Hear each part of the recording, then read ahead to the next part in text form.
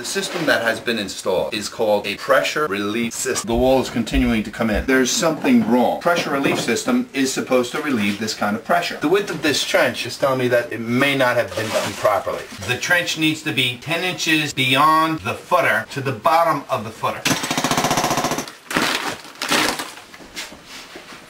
I'm not saying anything. Okay.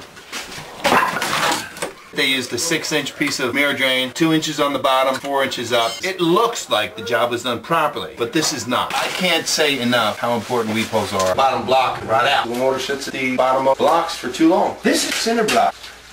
This is cinder, once upon a time, was a cinder block. This is what happens when motor sits at the bottom of blocks for too long a weep hole on the motor joint. They missed this one. They missed this one. Every weep hole has to be drilled, especially when you've got a wall that's moving. This trench is maybe 5 inches beyond the footer. This trench should be 10 inches beyond the footer, and this PVC pipe has no business being in that hole. This is the type of piping that was installed. This is the type of pipe the company who did this job told the customer they were getting. 3 inch PVC cannot handle the volume of water when you have a situation like this. The contractor will cut corners by using inferior product. This trench is not wide enough this trench should really be out here, which is double the amount of work. The contractor wants to cut corners and get the job done half the time. Well, he just does half the work. Gets himself some 3-inch PVC pipe, puts a very narrow trench in, dummies his Miradrain, makes it look like getting what you paid for when you're not. Cutting corners, cutting corners, cutting corners.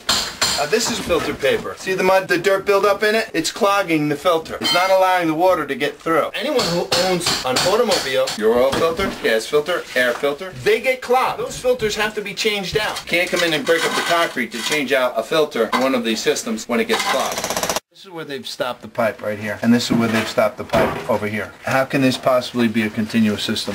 Where's the water supposed to flow? The trench was deeper the way it's supposed to be. You'd be able to go underneath this and get a proper flow. Any kind of piping needs to have a way to get into the pump. There's no pipe entering this crotch from anywhere.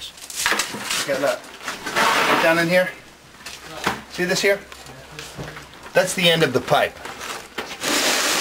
What the hell is that? The water is not getting into the system fast enough, into the crock fast enough, and getting pumped out fast enough. It's still building up, and that's why the wall is continually being pushed in. This is the proper width of a trench. Minimum 10 inches. Spade shovel is roughly 9 inches wide. Spade shovel needs to fit in there. This is the width of the trench that was put in. It's about this wide. They didn't go wide enough. They did not go deep enough. This is where they installed their pipe.